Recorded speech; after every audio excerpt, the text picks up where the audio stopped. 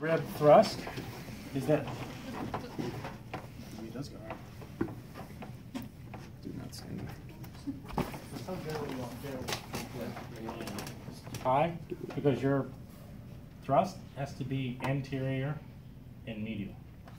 Right? So I mean, this is the angle that I want to be on. And so I'm going to kind of come in in front of the upper trapezius, get on the first rib here, and drop my hand, my elbow down, so that my forearm is going anterior and medial, and the second MCP is on top of the first rib. You kind of side bend his head over so you slack the soft tissue, so you can get down to the, the rib there. Get a couple of springs there, make sure you're not pushing on anything that's terribly uncomfortable there. You good there? Mm-hmm. All right. And so from here, I'm keeping the head side bent, so the slack the soft tissue.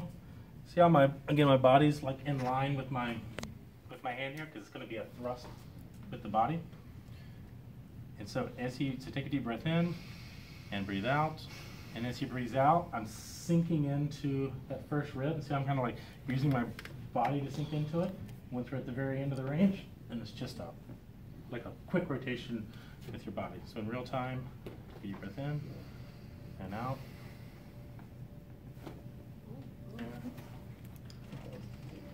That his shoes on the table. And in and out.